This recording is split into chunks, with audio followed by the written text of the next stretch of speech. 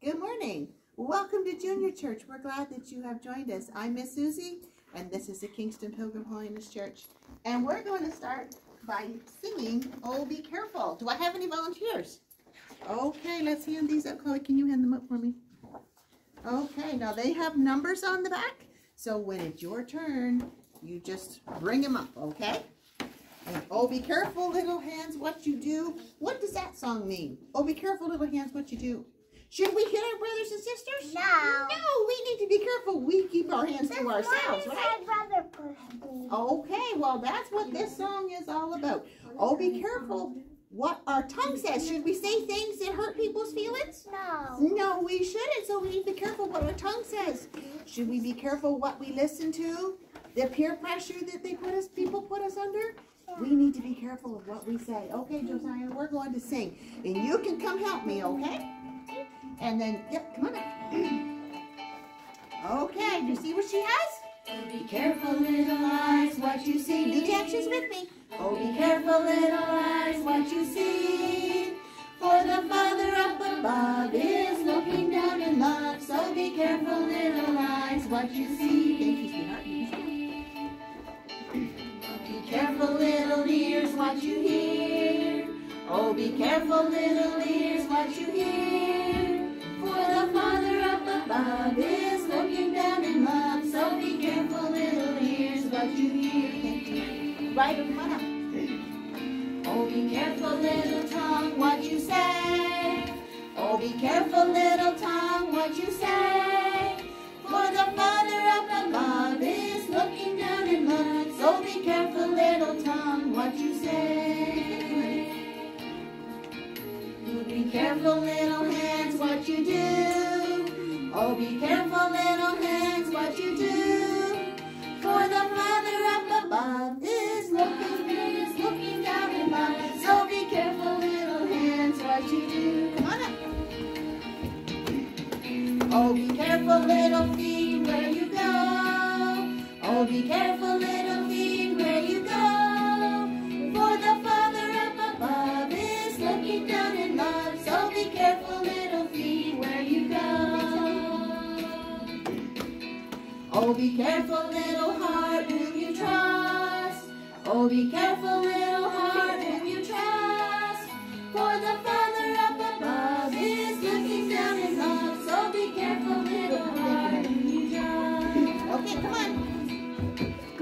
Oh, be careful, little mind, what you think. Oh, be careful, little mind, what you think. For the Father up above is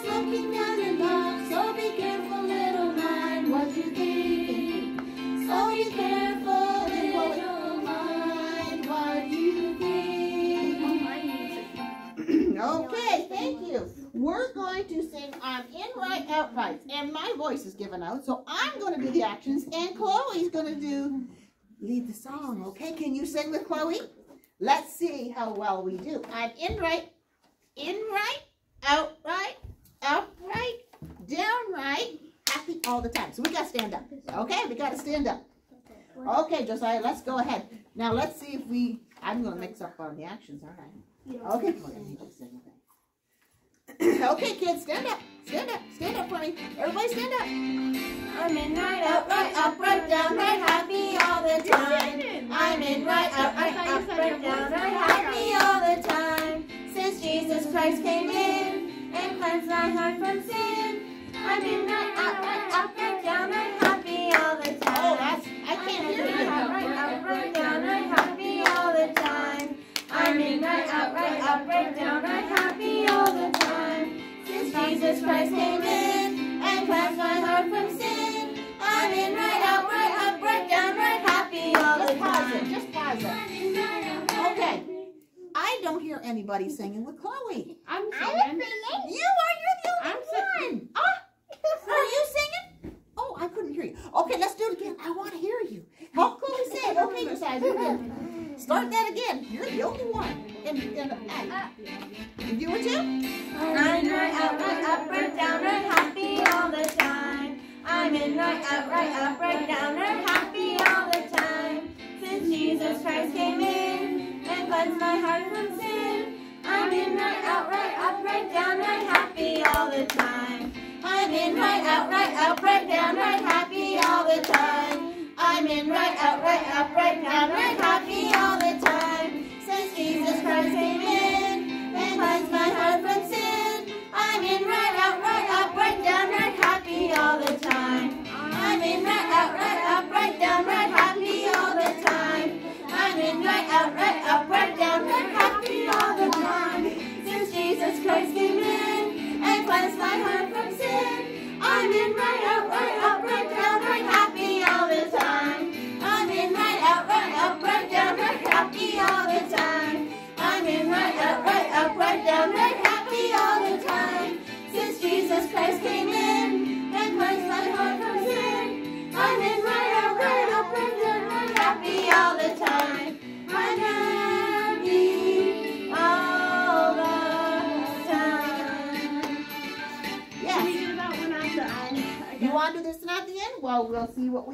Okay. We're going to do one more. We did this one for Bible school. Do I have two volunteers? Okay. And in the back, a little bit. Okay, we're going to put you here and her there. Okay, whatever one doesn't matter. okay. Maybe back up a little bit so you can be on the screen. You back up a little bit, honey? There you go. Okay, go ahead. Which way are you traveling? And I'll try not to get mixed up.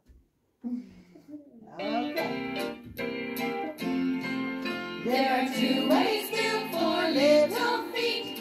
That's a Bible story.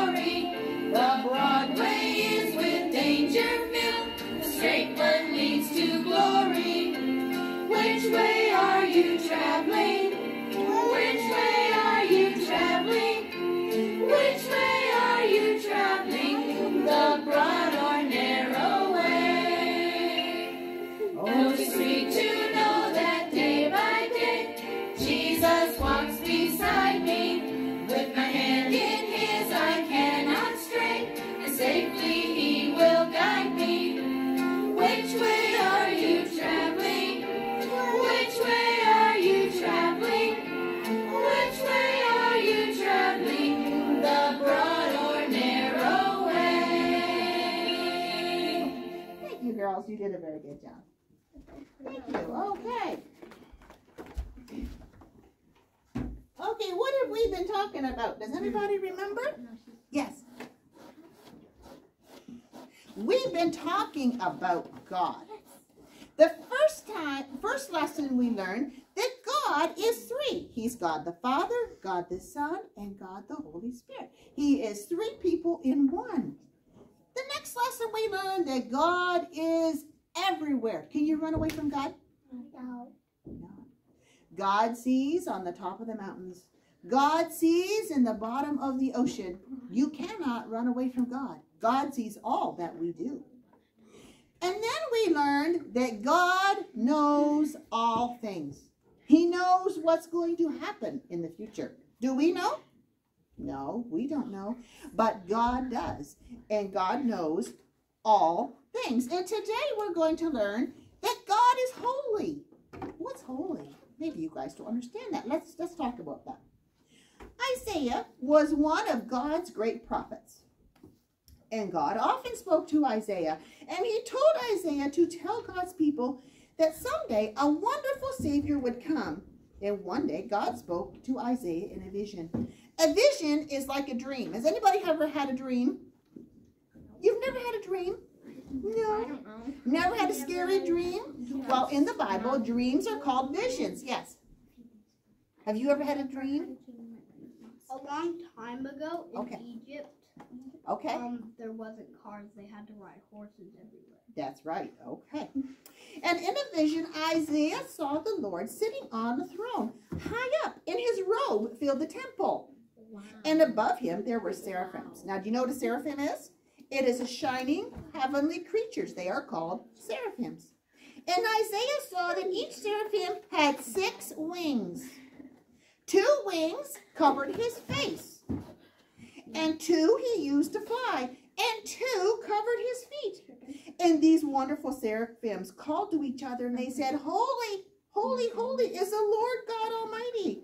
The whole earth is filled with his glory. And when Isaiah saw the vision, he was afraid. Have you ever been afraid? I think we all have been at some point, haven't we? But the vision showed him that God is holy. Well, what's that mean? What does the Bible mean when it tells us God is holy? Well, do you remember the story of Moses? How God let Moses see just a little of his glory. And afterward, Moses' face shone as bright as the sun. That brightness was a part of God's holiness. But God's holiness is more than shining brightness. God is pure. God never sins. And God always does right. God is all light and glory. God is all goodness. Nothing sinful can ever come to him or even near him. It will be burned away by his holiness. Oh, we can't just cannot think of all of God's holiness means. The angels and the seraphim see it, and they praise him day and night, and they sing to him, and they serve him. The angels are holy. They do not sin. But God is much more holy than the angels. That's why the seraphim covered their faces and their feet, and that's why they call God the Lord of hosts. But God wants us to come to him. He is so good to us, and he told Isaiah not to be afraid. Now, if God is so holy, do you think he wants anything to do with us? Yes. What do you think? I have a question. Are the floors in are the roads in heaven made out of gold and red? The Bible says they're lined with gold. The streets of heaven are lined with gold. That's going to be a beautiful place, isn't it? Yeah. Okay. Now, Jesus is God, and he took little children in his arms, and he wanted to bring them to the Father. That means God wants you, even little kids, God wants you to come to him. And he wants you to come and to give him your heart and to let him help you in all of your life's problems. And we can go to God today in Jesus' name because Jesus died and took our sins away and make us clean so that even that holy God that I talked about will let us come to him. Dear Lord, thou art so very, very great. If the angels sing and the mountains tremble, surely we ought to praise you. Have you praised God today for all that he's done? He has given us life. He's given us breath. God wants us to praise him. Oh, we thank thee that we may come to thee in Jesus' name, and we don't need to be afraid to come to God. Forgive all our sins and make us holy too. And Mr. Andrew has come down, and we're going to let him come and pray for us right now. Can you come up here?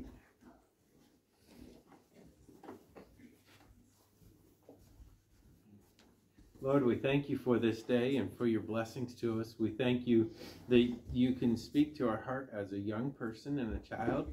Lord, that you can allow us to be one of your children. You can make our heart clean and pure within. And we ask that you would uh, help those to love and serve you from a young age here and that they would follow after you in thy name. Amen. Okay, would you like to help Chloe do a song? Can you help her do that song? And I'll sit here beside her. Look at Okay, oh, let's sing. Can you sing for me?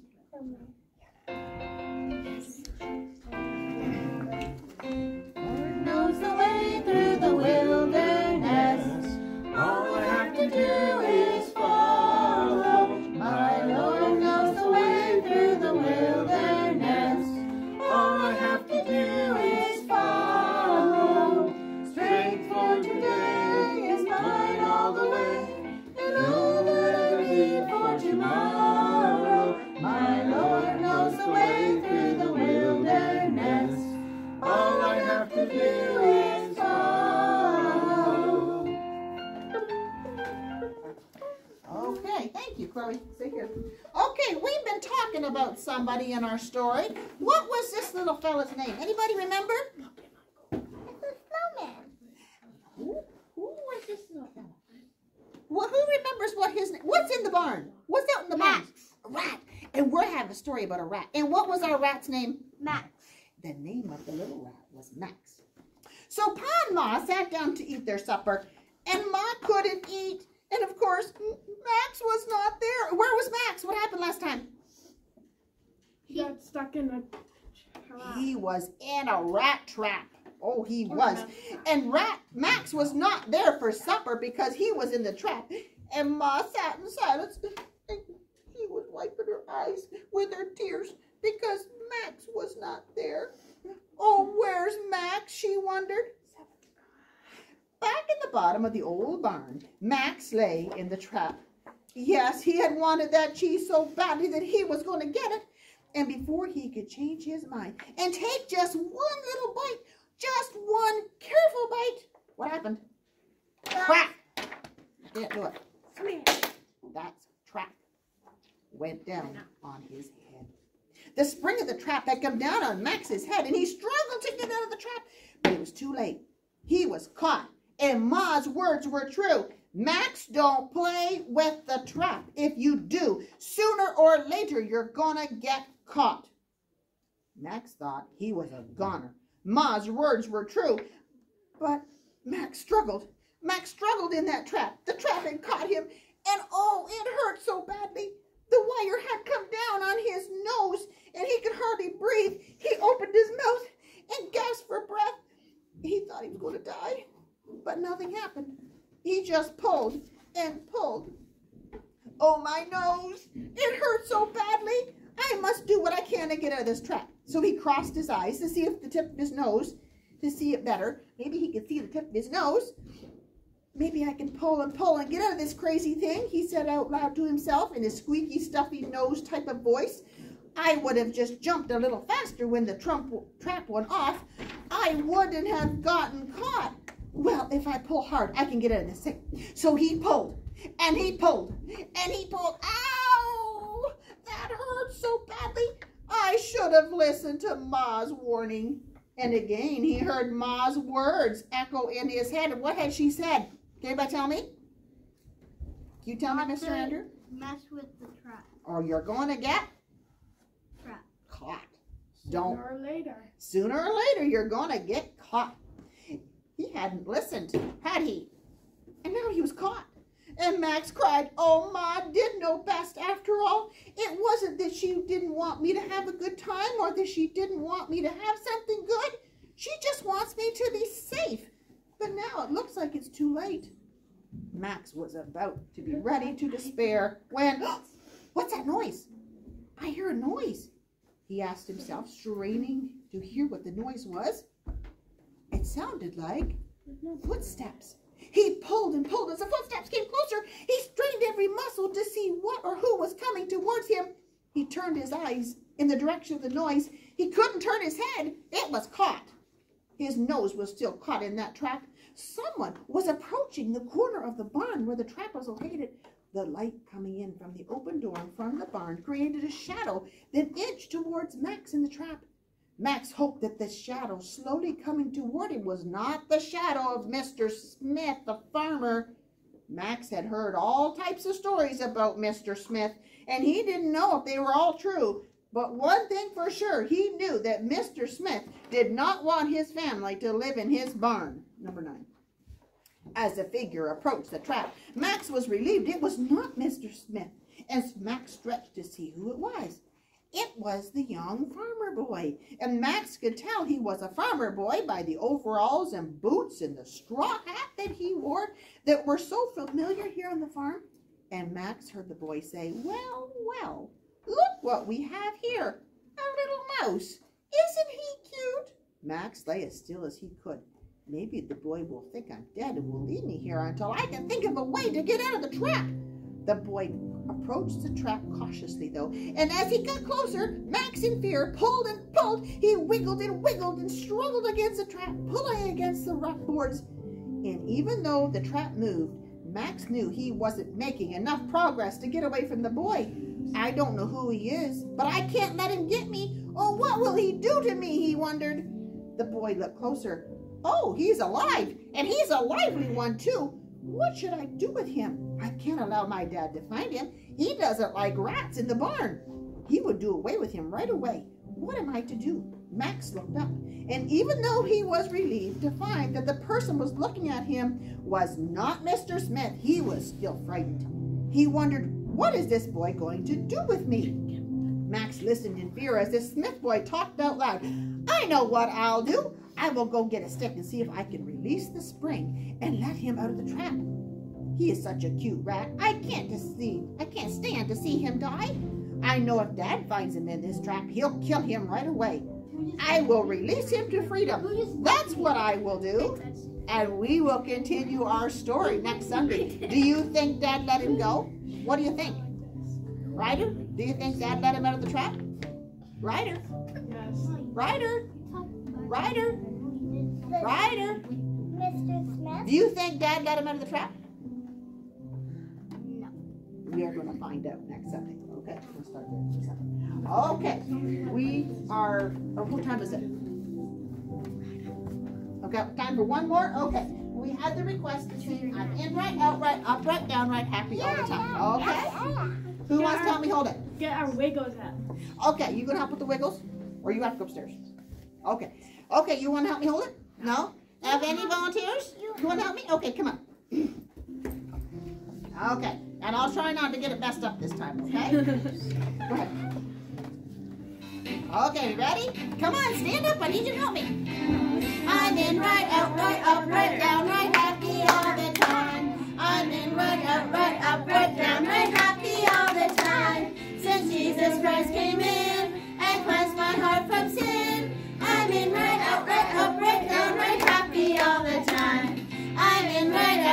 up, right, down, right, happy all the time. I'm in right, out, right, up, right, down, right, happy all the time.